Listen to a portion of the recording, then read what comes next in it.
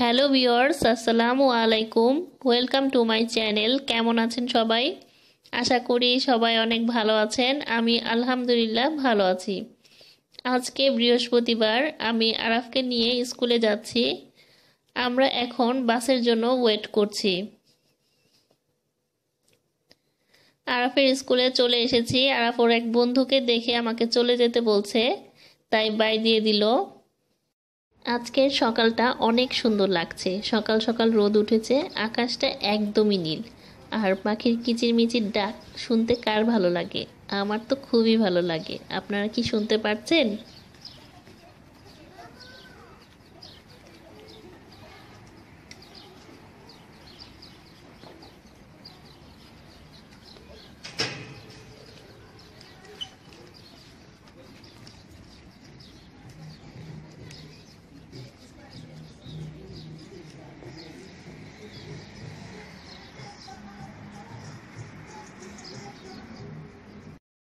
বাসায় এসে রং চা খেতে ইচ্ছে করছিল, তাই চুলায় চায়ের পানিটা বসিয়ে দিয়েছি। এক চামচ চিনি দিয়ে দিলাম। আমার কাছে মনে হয় চায়ে পরে চিনি দিলে চাটা ঠান্ডা হয়ে যায় এবং টেস্ট কমে যায়। চাটা শুধু আমি একাই খাব, আরাফের আব্বু লেবু ছাড়া রং চা খেতে পছন্দ করে না। আমি বারবার খাব খাব বলছি, আমি জানি এটা পান করা হবে, কিন্তু আমরা বাঙালিরা সবসময় খাব, এই কথাটাই বলি। যাই হোক, যারা আমার ভিডিওটি দেখছেন, আপনাদের সকলকে অনেক ধন্যবাদ। আপনাদের কাছে আমার অনুরোধ, দয়া করে আমার ভিডিওটি শেষ পর্যন্ত দেখবেন। চাটা হয়ে গিয়েছে। গরম গরম চা আর সাথে টা খেয়ে নিচ্ছি। আমরা আজকে মাক্সিতে এসেছিলাম। মাক্সি থেকে ঘোরার পর একটা মাছের দোকানে চলে এসেছি। আরফের আবু মাছ কিনছে আর আমি আপনাদের জন্য ভিডিও করছি। এই দোকানটাতে সবসময় অনেক মাছ থাকে, কিন্তু আজকে মাছ কম মনে হচ্ছে। চলুন ঘুরে দেখতে থাকি।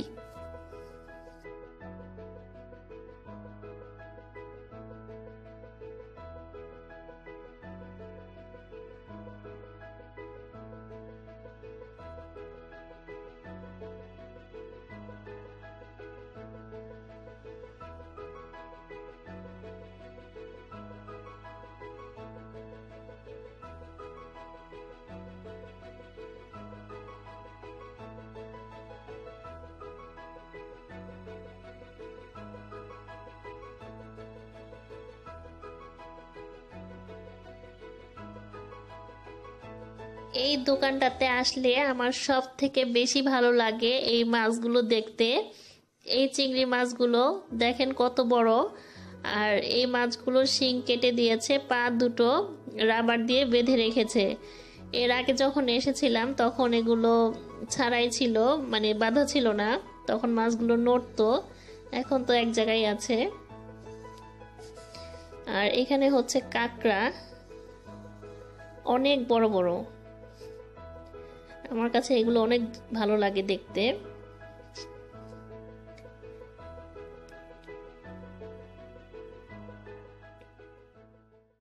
মাক্সি থেকে কমলা, পুয়াক, একটা ওড়না, হিজাব আর কাঠের কিছু চামচ, খুন্তি বা ছেনি, যে যেটাই বলেন, আঞ্চলিক ভাষায় আমরা খুন্তি বা ছেনি বলে থাকি।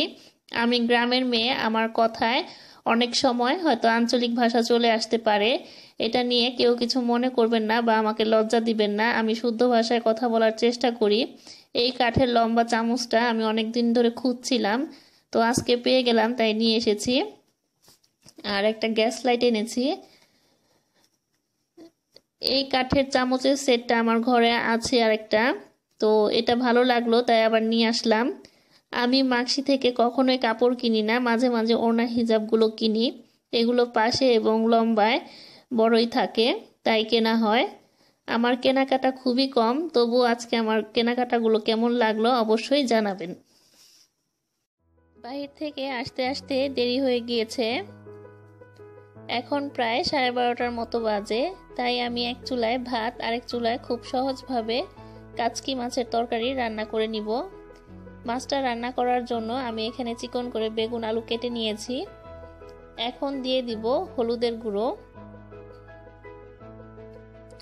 আর দিব লবণ। দিয়ে দিচ্ছি পেঁয়াজ, কাঁচামরিচ।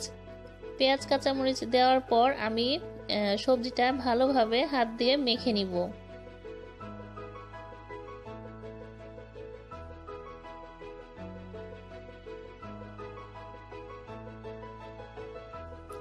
সামান্য পরিমাণ পানি দিয়ে দিচ্ছি।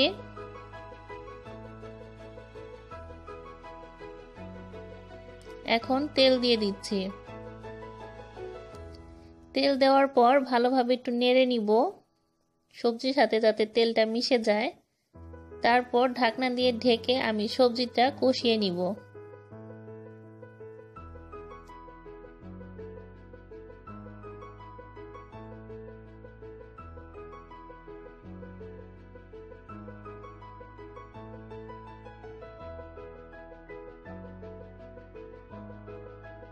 সবজিটা কষানো হয়ে গিয়েছে, দিয়ে দিব পানি। কিছুটা মাছ দেওয়ার পর সবজির সাথে মিশিয়ে নিব। তারপর বাকি মাছগুলো সব দিয়ে ঢাকনা দিয়ে ঢেকে রান্না করে নিব।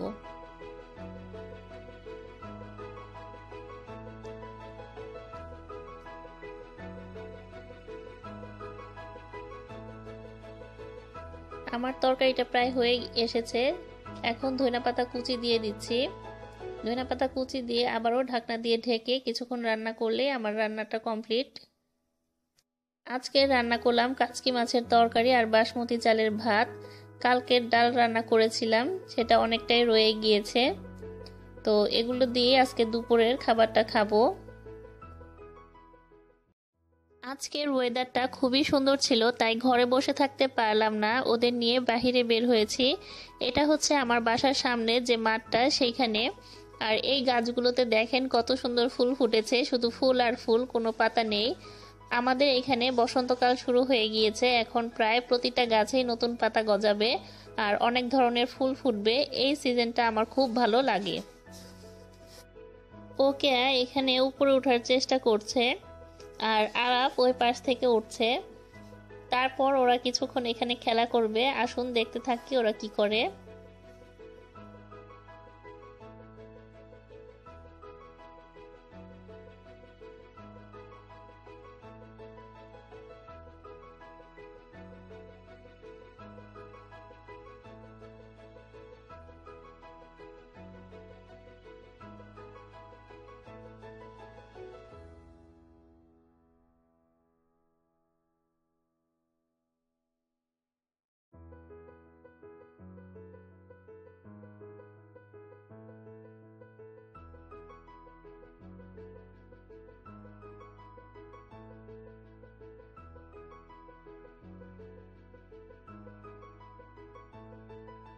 বাসার ওখানে ওকে আর খেলতে ভালো লাগছিল না, তাই ওকে হাত ধরে টেনে আমাকে এই পার্কে নিয়ে এসেছে।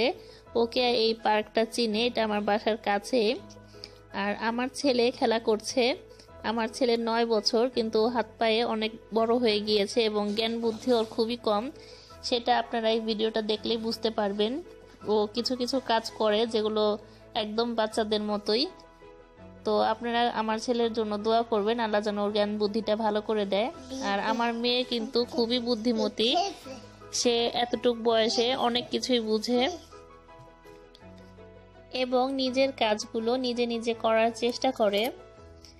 ওকে এখন থেকে নিজের পছন্দ অনুযায়ী তার কাপড় পরে। সে আমি পছন্দ করে দিলে সেটা পরতে চায় না। আমার মেয়ে অনেকটাই বড় হয়ে গিয়েছে। এখন আমি ওর মেয়ে হয়ে গিয়েছে আর ও আমার মা হয়ে গিয়েছে, এরকম অবস্থা আর কি। আর ওকে আর চুলগুলো বাড়তে দিতে চায় না। ওকে আমি একবার চুল কেটে দিয়েছিলাম, সেই কারণে ও ভয় পায় যে আমি যদি আবার ওর চুল কেটে দেই। ওকে আর ছোটবেলায় যখন ঝুটি করে হাঁটতো, তখন অনেক সুন্দর লাগতো। আমি আপনাদের এই ভিডিওটার পরে একটা ভিডিও আপলোড করে দিব। ওকে আর যখন একদম নতুন হাঁটা শিখেছে, তখনকার ভিডিও। আশা করি আপনাদের ভালো লাগবে। আর এখানে ওরা কিছুক্ষণ খেলছে, আপনারা একটু কষ্ট করে দেখতে থাকুন ওরা কি করে।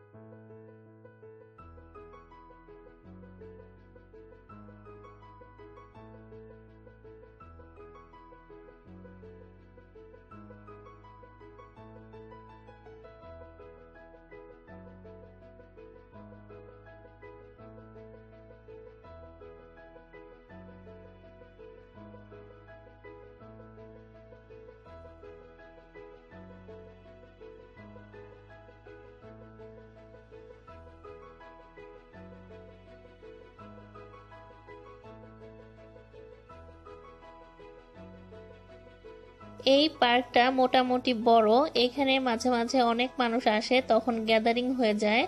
আজকে তেমন মানুষ ছিল না, অল্প কিছু মানুষ ছিল, চলে গিয়েছে, আমরাও কিছুক্ষণের মধ্যে চলে যাব। এইখান থেকে আরাফের স্কুলটা দেখা যাচ্ছে, ওইখানে যে ফুল গাছগুলো দেখতে পাচ্ছেন, তার পাশের রোডটা দিয়ে আমি আরাফকে দিতে আসি। আজকের ভিডিওটি আপনাদের কেমন লাগল অবশ্যই জানাবেন। ভালো লাগলে লাইক দিবেন, শেয়ার করবেন আপনার ফ্যামিলি অ্যান্ড ফ্রেন্ডের সাথে। সবাইকে ধৈর্য ধরে ভিডিও দেখার জন্য ধন্যবাদ। সবাই ভালো থাকবেন। আজকে এই পর্যন্তই। আল্লাহ হাফেজ।